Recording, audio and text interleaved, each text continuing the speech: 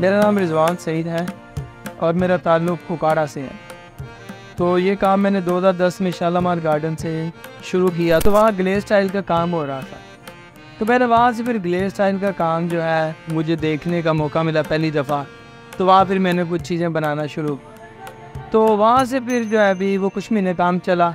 तो उससे मुझे थोड़ा सा एक्सपीरियंस हो गया भी ग्लेस स्टाइल क्या होता है और इसका काम कैसे किया जाता है। तो ग्लेस स्टाइल के काम में एक बहुत बड़ा गैप था कि करने वाले लोग ही नहीं थे क्योंकि इसमें काफ़ी सारा गैप था।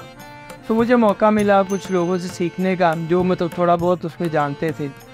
और उसमें फिर जब मैंने रजिस्ट्रेशन वर्क शुरू किया आगान के साथ तो उसमें फिर काफ़ी मुझे नई चीज़ें भी देखने को मिली। क्योंकि स्टाइल का जो काम है वो करने वाले लोग बहुत कम हैं। मतलब मैं पह, पहले भी मुझसे थे कोई दो एक दो लोग। तो वो मतलब थोड़ा उसमें जानते थे क्योंकि उन्हें काम करने का मौका नहीं इतना मिला, काम ही नहीं था।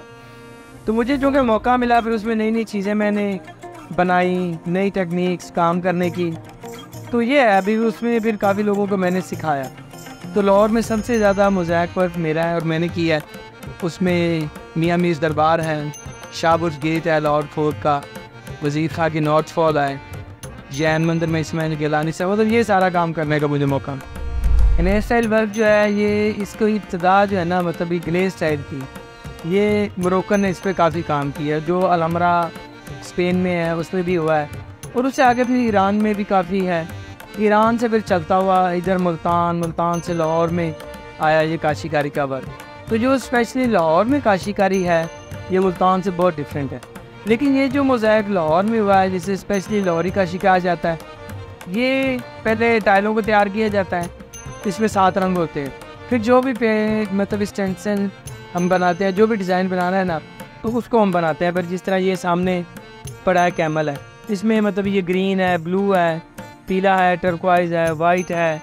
तो ये जितना भी है ना, ये एक ही चीज़ को हम स्टेंसिल बनाते हैं और हर पीस का अलग अलग स्टेंसिल बनता है, उसको काट के फिर जोड़ा जाता है।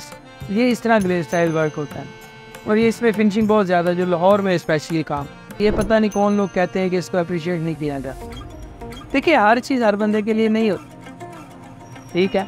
एक बंदा है जिसको पता ही नहीं इस चीज़ का तो वो इसको कैसे अप्रिशिएट करेगा? अप्रिशिएट वही करेगा जो इसको जानता है कि ये काम क्या है। और दूसरी बात ये है कि इसको करने वाले लोग बहुत कम हैं। लाहौर में कोई ऐसी मतलब शॉप नहीं है या ऐसा कोई पॉइंट नहीं है जहाँ ये काम किया जाता है। तो अब मैं मतलब ये कर रहा हूँ काम इतने साल से और अब यहाँ बैठ के प्रदीप काम में कर रहा हूँ। तो लोग अप्रिशिएट करते हैं, लेकिन ज़रूरी नहीं कि सारे ही करें।